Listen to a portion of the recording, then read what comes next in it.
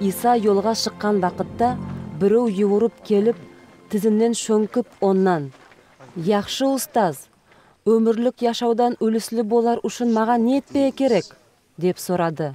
Иса неге маға яхшы деп айтасың?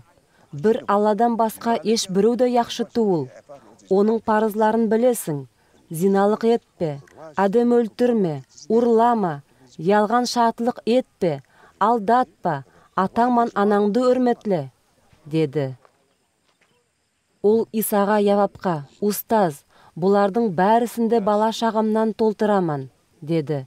Иса сүйіп оға қарады да саға бір зат жетіспейді кет бар болған затыңды сат та ақшасын ярлыларға үлестір.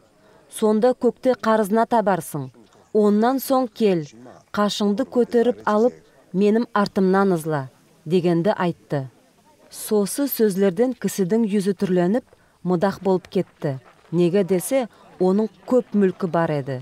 Иса төгірегіне қарап соқталарына байлығы болғанларға алла патшалығына кірмеге қалай қиын? деді. Оның сөзлері соқталарын сейірсіндірді. Амма иса тағы да балалар байлыққа сенгендерге алла патшалығына кіру қалай бір қиын? Бай адамге алла патшалығына кіруден есе түйегі ине көзінен өту тыныш деп айтты. Соқталары бек үйкөн сейерге қалдылар. Ем өзлері ара солай болса кім құтқарылмаға болар екен деп сөйлестілер. Иса оларға қарап адамлерге бұ етіп болмас зат амма аллаға туыл алла бәрі затты етіп болады деді. Сонда петер міне біз бәрі затты да қалдырып сенің артыңнан ызладық деп сөйлеп баслады иса явап беріп сізге дұрысын айтаман.